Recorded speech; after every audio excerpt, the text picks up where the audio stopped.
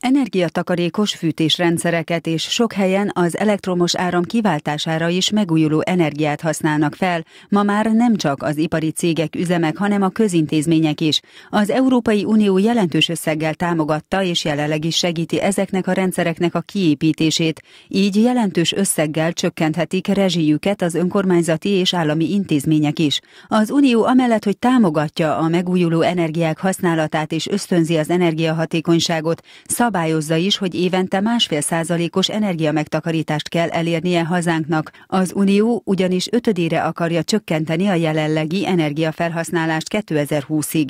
Az energiahatékonyság nem csak a cégekre, vállalkozásokra vonatkozik, hanem az önkormányzatoknak is kötelező energiahatékonysági tervet készíteni. Erről tegnapi 35 perc című műsorunkban beszélt a szakmérnök, aki a vállalatoknál és intézményeknél alkalmazott energetikai szakreferensek feladatairól is szólt minden olyan, ami az energia megtakarítással kapcsolatos, annak az feladata az energetikai szakreferensnek. Ez indulhat az energia beszerzésétől, az energia a megtakarításig, a fejlesztési koncepció kidolgozásáig, és a havi és éves jelentésekig, hogy folyamatosan kontrollálja azokat a, az intézkedéseket, azokat a, a tevékenységeket, hogy hol és mikor mennyi energiát takarított meg az önkormányzat, illetve a gazdálkodó szervezet. A törvény szabályozza, hogy az energetikai szakreferens csak külső szakértő lehet, nem lehet belső foglalkoztatott.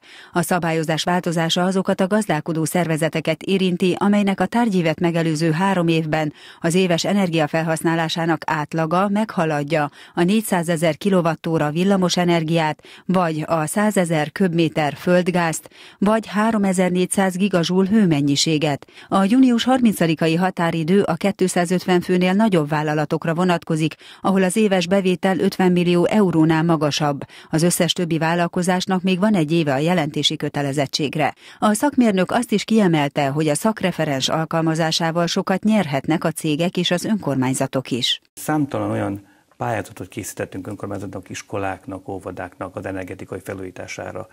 Hát egy 30-40 éves, 40 éve épült épület, a maga épületgépészetével, nyilázáróival, falazataival, ha azt ma konszervűen felújítjuk, akkor körülbelül 50 és 70 százalék energia megtakarítás várható el. Az elmúlt 10-15 évben megépített vagy felújított épületek már jó vagy kiváló energiabesorolást kapnak, de az energetikai tanúsítás a járművekre nézve is kötelező.